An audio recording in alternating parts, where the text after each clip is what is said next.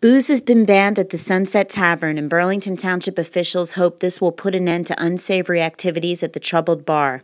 The Township Council did renew the liquor license for the owners, but imposed a condition that they move the business elsewhere if alcohol is involved. The bar has been the site of a fatal stabbing and countless other disturbances and was targeted in a New Jersey Division of Alcoholic Beverage Control crackdown.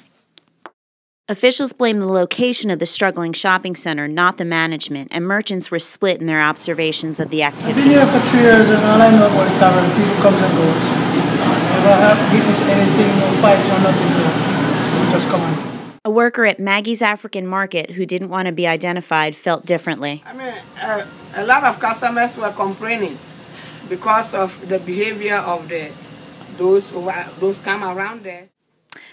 A lawyer for the owner says he hasn't found a new location and may get out of the bar business. Jeannie O'Sullivan for the Burlington County Times.